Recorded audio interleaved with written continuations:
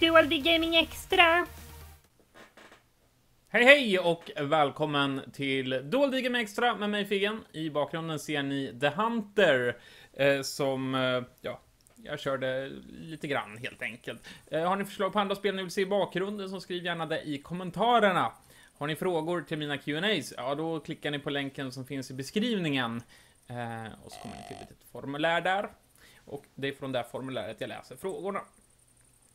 Eh, och vi börjar med, om du hade fått välja mellan att vara limmad till UFO eller Softis 24 timmar, vem hade du valt? Eh, jag tror jag hade valt Softis för att jag hade sagt bara Softis sov. Så hade han varit tyst.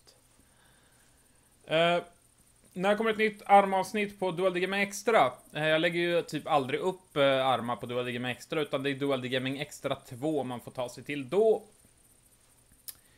Eh, tycker du att datorspel kostar för mycket idag? Nej, det tycker jag inte egentligen. Eh, det beror på lite hur mycket tid man lägger ner på det. Eh, för jag menar, kollar du ett biobesök på eh, 120 kronor så är det kanske två timmars underhållning om det är en bra film.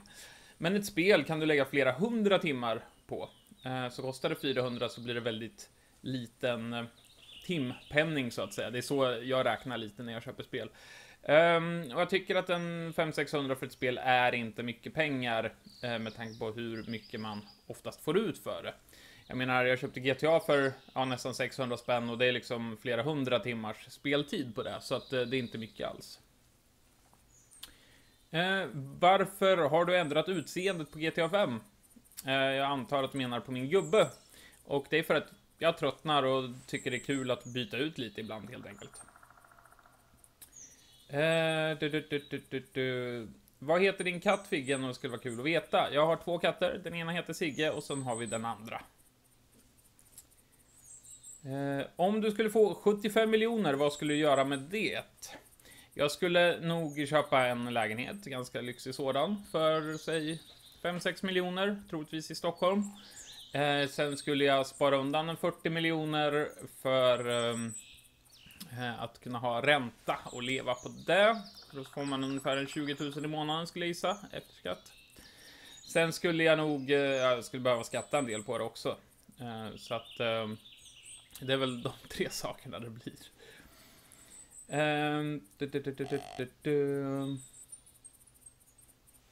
Vad gjorde dig stor i din kanal? Liksom var det Dual The Gaming som gjorde att du blev stor eller blev du själv? Jag skulle säga att en kombination. Det underlättade ju att jag hette Dual DGM Extra. Men förhoppningsvis tittar folk på, på mig för att jag är jag och förhoppningsvis kan underhålla på ett eller annat sätt. Men jag fick självklart draghjälp från Dual Gaming i och med namnet då.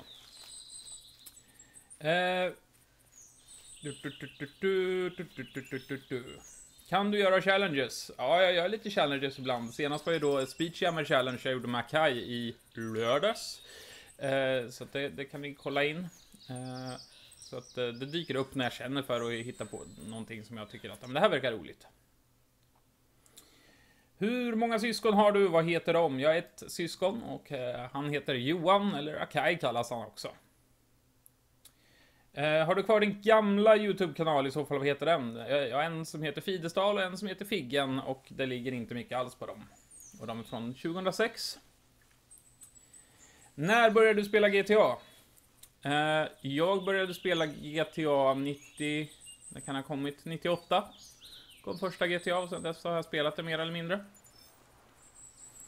Eh, vem av Whitbit, Softies eller UFO skulle du gifta dig med? Eller döda någon av dem i GTA? Jag skulle kunna döda allihopa i GTA och känner inte att jag skulle vilja gifta mig med någon av dem.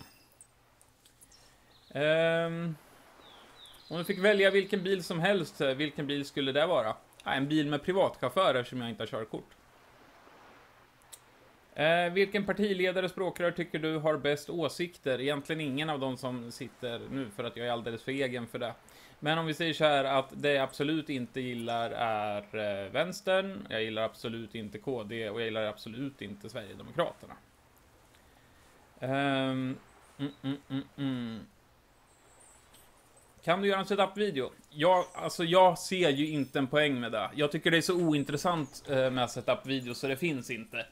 Och det är därför jag inte har gjort någon, för att jag inte ser någon nöje i det, utan jag vill ju göra saker som jag tycker är, är roliga liksom. Gud, jag säger liksom, liksom. Tror jag har sagt tidigare. Eh, min favoritmat. Eh, ja, alltså favoritmat. Alltså jag älskar ju all typ av mat. Men det godaste jag någonsin ätit, det åt jag med Whippet på Grand Hotel i en liten innefickan tror jag den heter. Som var en... Eh, ja, en sallad med krabba skulle man kunna säga. Väldigt, väldigt god. Eh, mitt favoritställe där man äter. Köket gillar jag. Eh, väldigt mycket. Vilka spel gillar du mest av GTA och Sims? Eh, jag gillar GTA för att det finns otroligt mycket att göra där. Lever din mamma och pappa? Jajamän, i alla fall sist jag kollade. Vem vet, det kanske, jag kanske har maximal otur att medan jag spelar in det här så händer det någonting. Det får vi, inte, det får vi hoppas att det inte gör, men you never know. Tycker om Skåne? Alltså, jag har aldrig gillat Danmark, riktigt. Uh, jag tycker det är svårt att höra vad de säger och sådär och ja. ja. Danmark är inte min favoritplats. Varför började du med YouTube? Jag var arbetslös, jag hade tråkigt. Uh, jag hade testat att lägga ut lite videos på Dual Gaming och jag tyckte det var roligt, så då tänkte jag att då testar jag att göra det själv. Uh, du, du, du, När träffade du Whippit första gången? Det var nog på första Splayday, hette det. Uh, och då träffades vi för första gången på eh, Centralen i Stockholm. Hur länge har du känt UFO? Eh, sen 2006, så snart 10 år. Vad gör du på din fritid? Eh, umgås med folk, eh, dricker gott, äter gott och spelar dataspel i korthet. Inte samtidigt alltihop det, men ja. Kan du börja spela Hitman igen? När det nya Hitman-spelet kommer så kommer jag börja spela det igen. Uh, du, du, du, vad, vad är ditt favoritspel genom tiderna? Um, alltså jag älskade Skyrim. Det är väl ett av de spelen som jag lagt ner väldigt, väldigt mycket tid på som inte är multiplayer.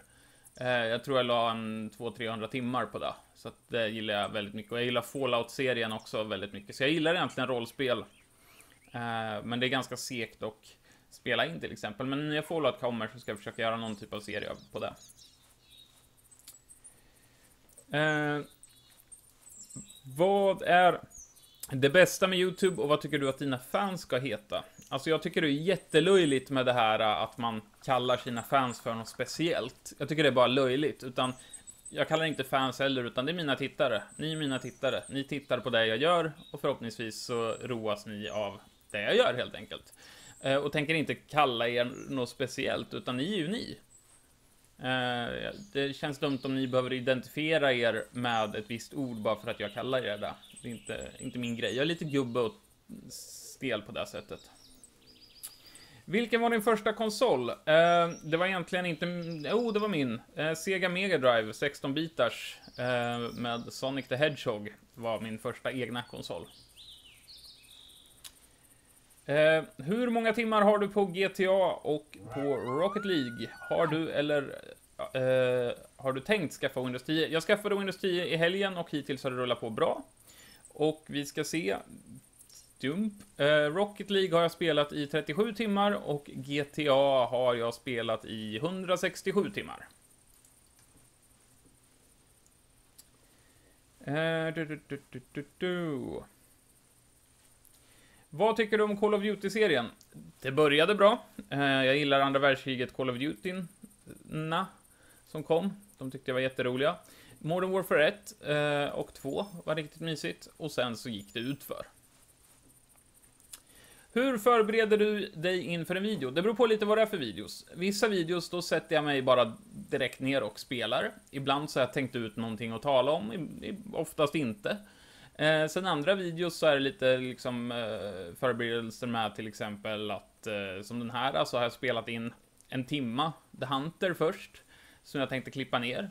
Eh, och sen så ska jag spela in själva Q&A. Jag kollar igenom en del frågor så jag vet ungefär vad som kommer och vilka jag ska ungefär hoppa, hoppa över. Men det är väldigt mycket frågor så att, och väldigt många som jag hoppar över. Så att, eh, så att eh, därför tittar jag ner så här ibland och det betyder att jag kollar i frågeformuläret. Kan du spela spår igen? Eh, det känns som det har jag gjort. Eh, jag har ju spelat spår sen det kom. tre, fyra gånger. Och eh, det är kul fram tills du kommer till rymdstadiet och sen tycker jag det är skittråkigt. Eh, så att det blir nog inget med det. Hur träffade du UFO och hur träffade du Whippet? Eh, uh, UFO träffade jag när vi jobbade ihop på ett callcenter och Whippet träffade ihop, Eh, träffade ihop, träffade jag genom att eh, vi spelade på samma server, en Minecraft-server. Eh, om det var Maera, kanske, till och med. Och sen började vi snacka och sen så startade vi upp vår verksamhet. Har du varit i Japan? Nej, jag har inte varit i Japan. Eh, och jag skulle jag få möjlighet så skulle jag kunna åka dit, men det är inget så här, woho, Japan, uh.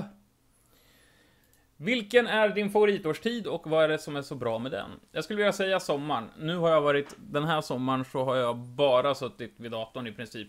Ehm, jag har varit ute några gånger, alltså med ute menar jag lite utserveringar och ätit god mat och så vidare, men Um, I och med youtubandet så, uh, för om jag ska ta semester så vet jag att då måste jag sitta väldigt mycket veckan innan och bara förbereda allting så allt är klart och rulla på ändå.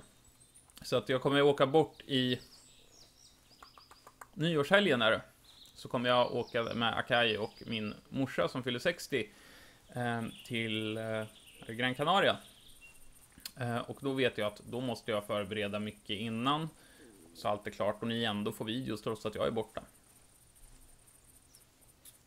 Eh, kan du visa en av dina mickar i en Q&A? Vi ska se om vi lyckas med det. Tjoff.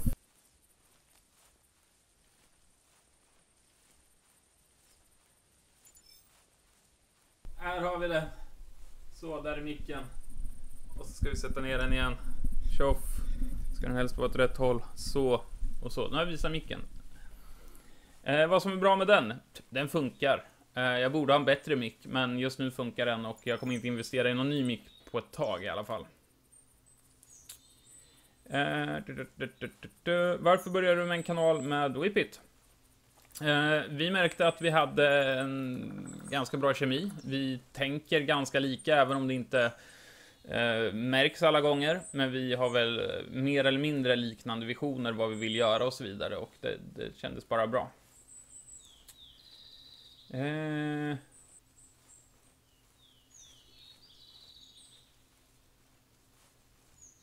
När blir du vansinnig? Ja, jag skulle vilja säga när saker och ting går som jag inte har tänkt mig, då kan jag bli vansinnig. Oftast senaste tiden så har det väl varit i GTA-race. Gillar du låten See You Again av Bo Boys Avenue? Aldrig hört talas om. Um,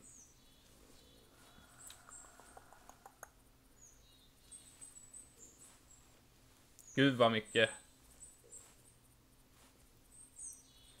strunt det var här. Vad tycker du om heavy metal? Ja, eh, viss heavy metal är bra, annan suger. Det är som den mesta musiken. Vissa saker är bra, andra är dåliga. Eh, hade du moppe när du var 15? Nej, det hade jag inte. Jag hade haft behov av fordon egentligen. Eh, och skulle du kunna gå med i svenska armén, alltså GMU? Eh, ja, jag skulle väl kunna, men jag känner inte att jag behöver eller har så här superlust. Dessutom börjar jag bli lite för gammal för det, tror jag. Eh, du, du, du, Hur mycket kan du om grekisk mytologi? Jag kan väl grunderna liksom. Eh, att eh, Zeus eller Zeus var pappa till de flesta och hade barn med både människor och gudar. Vi kan ju, behöver inte grotta in oss mer på det. Varför valde du namnet Dual Extra? Eh, det var för att eh, oftast när jag startar upp projekt så lägger jag ner dem väldigt snabbt. Eh, för att jag tröttnar. Och då tänkte jag att om jag tröttnar på det här, då kan eh, DDG ta över eh, kanalen helt enkelt. Men nu har jag inte tröttnat. Ska vi ta en till. Vad gillar du för typ av musik? Jag gillar väldigt mycket 60, 70, 80 80-tal, lite 90-tal och lite 2000-tal liksom. Inte jättemycket nutida musik, men Pink Floyd, Toto. Um, sen gillar jag lite sydafrikansk hiphop. Uh, det finns alltså, jag har jättebred musiksmak, så att det finns... Uh, ja, jag gillar ingen speciell så, utan jag gillar i princip allt. Men eh, där avslutar vi för idag. Så har ni frågor så finns det då en länk i beskrivningen. Jag hoppas ni tyckte det var roligt och att ni fick reda på någonting nytt som ni inte hört tidigare. Och, eh, ja, prenumerera om ni inte redan gör det. Kom som sagt förslag med andra spel som ni vill se i bakgrunden, eller ni kanske bara har det här minimerat och bara sitter och lyssnar på. Vad vet jag? Tack så mycket för att ni har tittat, så ses vi i nästa avsnitt. Hej hej!